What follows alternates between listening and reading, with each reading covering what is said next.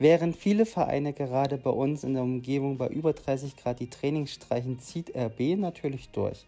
Aber zugegeben, das findet auch in der Halle auf Kunstrasen statt, da sind die Temperaturen ein bisschen angenehmer. Wobei die Jungs alle natürlich trotzdem ordentlich schwitzen und viel trinken müssen. Aber meine beiden, die haben sich gestern sogar bei mir beschwert, dass das Training draußen abgesagt wurde und da waren 37 Grad. Ich fand es ehrlich gesagt gar nicht so wild. Heute haben sie sich auf jeden Fall wieder richtig reingehauen beim Training und da war wirklich viel Kraft nötig.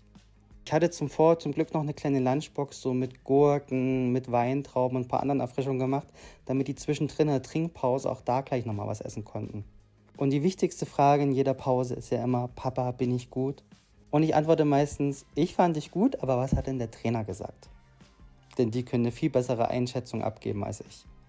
Am Wochenende stehen bei uns insgesamt drei Punktspiele an und der Große soll sogar zweimal ran. Ich bin ja schon gespannt, wie viel Zeit der Papa am Wochenende für sich hat. Wahrscheinlich wird das wenig. Aber die wollen natürlich jedes Spiel spielen, was sie spielen können. Macht ihr Sport bei diesen Temperaturen oder gönnt ihr euch auch mal eine Pause?